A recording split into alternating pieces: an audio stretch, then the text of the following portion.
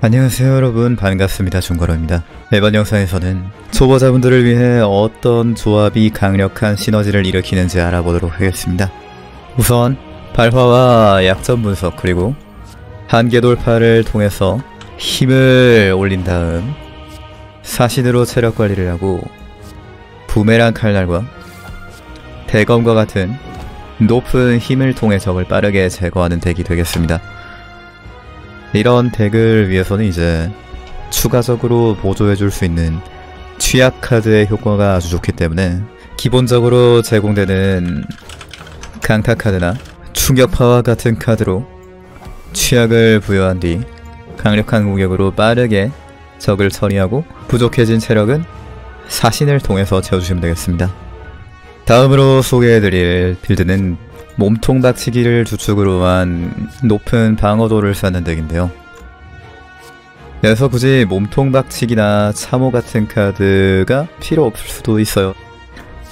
바리케이드를 주축으로 한 덱 중에 이렇게 순수하게 방어도를 높게 쌓는 덱 빌딩을 할 수도 있고 이후에 소개시켜드릴 소멸을 통해서 방어도를 쌓는 덱도 구성할 수가 있지만 일단은 이렇게 바리케이드를 통해서 턴 시작 시 방어도가 사라지지 않도록 해주고 네, 무적이나 흘려보내기, 유령갑옷, 화염장벽 같은 카드로 방어도를 얻고 참호로 그 방어도를 더 높게 만든 다음에 제물 같은 카드로 이러한 파워 카드를 빨리 사용하고 몸통 박치기로 마무리를 하는 덱입니다. 덱이 굉장히 얇아야 가능한 덱이기 때문에 이런 형태로 덱을 짜는 거는 그렇게 승률이 높은 방식이라고는 하기 힘들겠네요. 초반에 전투 장비나 전투 최면 같은 이렇게 기본적으로 덱에 들어있는 수비 카드를 팔방으로 만들어주는 카드와 제물 대용으로 사용할 전투 최면 같은 카드가 있다면 몸통 박치기를 이용한 덱을 한번 구성해 볼 만합니다. 참호와 바리케이드는 조금 천천히 구해도 되는 카드고 전투 체면이나 전투 장비 같은 카드가 몸통 박치기를 사용할 때 중요합니다. 왜냐면은 초반에는 되게 강력한 방어 카드가 없기 때문에 몸통 박치기로 강한 데미지를 주기가 굉장히 어렵습니다. 그래서 이제 전투 체면과 전투 장비 같은 콤보를 통해 기본 수비 카드의 value를 높여준다면 몸통 박치기로 초반을 버틸 수 있고 초반을 버티면서 얻은 바리케이드, 무적, 참호, 제물 같은 카드로 아까와 같은 완성덱을 만들 수 있게 되죠. 다음은 이도류와 피에는 피 카드를 활용한 덱인데요. 잔혹성과 파열 등의 카드로 혈류, 자신의 체력을 깎아서 피 카드를 0코스트로 만든 다음에 이도류로 이 0코스트 피에는 피를 복사하고 경로를 사용해서 방어도를 얻고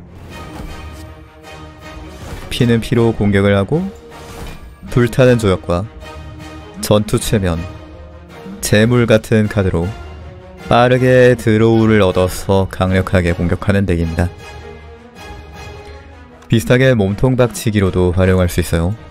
다음 소개해드릴 덱은 난관 극복과 기사회생을 사용해서 고방어도를 쌓는 덱입니다.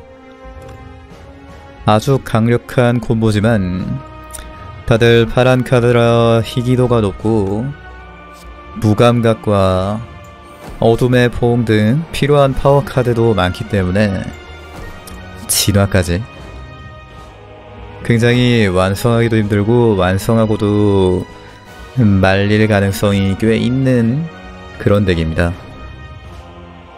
하지만 거의 완성하면 최종 보스까지 쉽게 이길 수 있는 강력한 덱을 만들 수 있습니다. 이렇게 기사연승을 통해서 카드를 소멸시키고 무감각으로 방어도를 얻고 어둠의 포옹으로 카드를 다시 뽑아서 난관 극복 기사회생을 한 턴에 두 번 사용하고 몸통 박치기까지 섞어줄 수 있는 강력한 덱입니다. 거기에 이제 불품기를 통해서 전체 공격도 챙겨줄 수 있지만 파워카드가 너무 많아지지 않게 짜야 한다는 점 주의해 주시면 되겠습니다. 방어도가 굉장히 많이 오르죠. 다음 소개해드릴 덱은 이도류 드롭킥 덱입니다. 경로를 사용해서 시간 포식자와 같은 적을 대비하고 천둥과 강타 같은 카드로 취약을 건 다음에 기사회생 같은 카드로 기본 수비 카드를 싹 제거해 주시고 이도류 또는 연사 카드를 통해서 드롭킥을 사용하고 드롭킥이 한 장 뽑은 드롭킥을 다시 사용하고 다시 드롭킥을 사용하고 이렇게 계속해서 드롭킥을 사용해서 한 턴 만에 처리하는 덱입니다. 기사회생 같은 카드로 수비 카드를 없애주시고 지옥불로 모두 없애는 것도 괜찮습니다. 다음 알려드릴 조합은 타락과 무감각과 어둠의 봉입니다. 여기에 절대적인 힘, 방어도를 얻을 때마다 랜덤한 적에게 데미지를 주는 카드나 아니면 몸통 박치기 굉장히 많은 카드를 섞을 수 있는 조합이기 때문에 그리고 되게 맞추기가 쉬운 조합이에요. 타락과 어둠의 포옹 정도만 있으면 되고 최종 보스전을 하기 전까지 무감각 정도만 챙겨 놓으면 되는 조합이기 때문에 바리케이드를 활용할 수도 있고 아이언클레드를 할 때 꼭 한번 알아두었으면 하는 조합입니다. 우선 타락과 흘려보내기만 사용해도 매우 강력한 효과를 볼 수 있고요. 가끔씩 타락을 쓰면 스킬 카드가 다 없어질 텐데 어떻게 하냐고 물어보시는 분들이 있는데 덱을 충분히 많이 넣으면 되고 타락을 쓰면 안 될 것 같다고 본인이 판단하면 안 쓰시면 됩니다. 이 게임은 일반 전투가 보스 전투보다 훨씬 많은 게임이기 때문에 이렇게 일반 전투에서만 유용할 수도 있는 카드 또한 굉장히 유용하다는 점을 알려드리고 싶고요. 그와는 다르게 타락 카드가 게임을 끝날 때까지 아주 유용한 카드라는 점을 알려드리고 싶네요.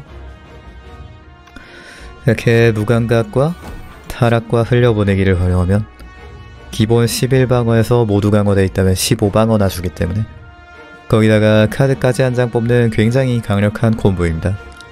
조합 자체가 워낙에 간단하기 때문에 어떤 아이언클래드 덱과도 잘 어울리는 조합입니다. 이외에도 굉장히 다양한 콤보들이 있는 게임이지만 제가 음, 미처 소개해드리지 못한 덱이 있다면 댓글로 알려주시기 바랍니다.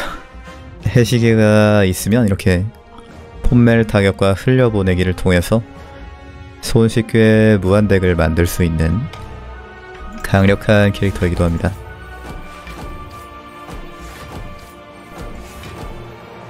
어떻게 처음 찍어보는 영상이라 부족한 부분이 많을 것 같아요. 무슨 덱을 짜야겠 다는 걸 모르시는 분들께 도움이 됐으면 하는 바람이 있습니다. 그러면은 즐거운 게임 하시고 다음에 또 뵙도록 하겠습니다. 감사합니다.